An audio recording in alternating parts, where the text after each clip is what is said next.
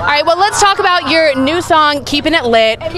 So fun. What was the inspiration behind that? The inspiration, well, I just wanted to write a song about having fun with my friends and family and having a big heart and sharing what I like to say, your litness with other people. And yeah, Okay, I have to ask, what, is, what would you call litness?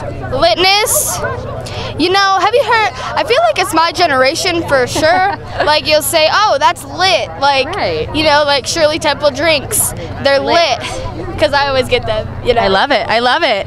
Well, that's so much fun. What's next for you behind the song? Oh my gosh! Well, I'm actually releasing a new song soon, Ooh. and it's, Can we get any details on that? it's called "I Know How to Make a Boy Cry." Comes out June first, so I love it. Excited for it. It's you know, it's not about making boys cry, even though I might know how. it's about girl power and taking the high road and being the bigger person and standing up for yourself.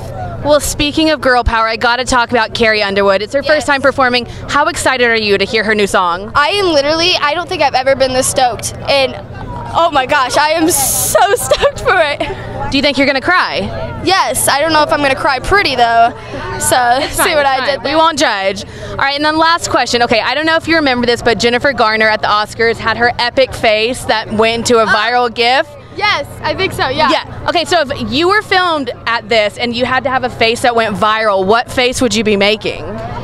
Oh my gosh. Uh, you know, I feel like I always do some type of face. I either look really confused, but like I'm always like, There you go. That's a good thing to go viral. you know, I feel like I feel like if I did that, it would be like, oh, she won, like you know.